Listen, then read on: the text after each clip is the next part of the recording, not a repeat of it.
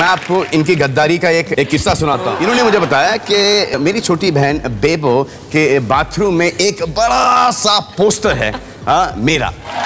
सलमान खान एक ऐसे अभिनेता है जिनका बॉलीवुड में सिर्फ़ नाम ही काफ़ी है। बच्चों से लेकर बुज़ुर्गों तक हर उम्र के लोग भाईजान के फ़ैन हैं। सिर्फ़ आम लोग ही नहीं बल्कि सिनेमा जगत के बड़े बड़े सितारे भी सलमान खान के फ़ैन हैं।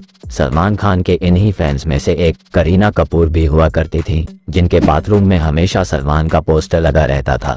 सलमान खान ने अपने शो, दस का दम में खुद इस बात का खुलासा किया था।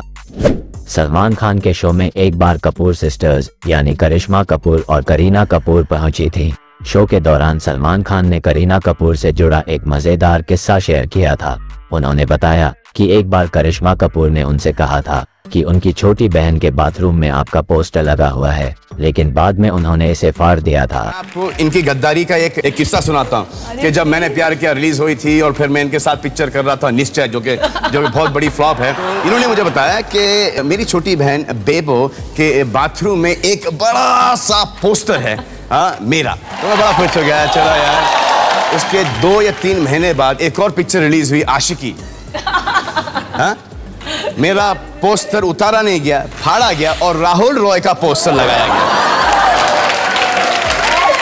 और ये आँखें मुझे बता भी देती हैं कि सलमान ना your poster is not that is not that ना इज़ राहुल रॉय पोस्टर ना ये। मैं ऑनेस्ट हूँ। यस आपको बता दें कि सलमान खान ने करिश्मा कपूर और करीना कपूर दोनों ही बहनों के साथ खूब सारी फ़िल्मों में काम किया है।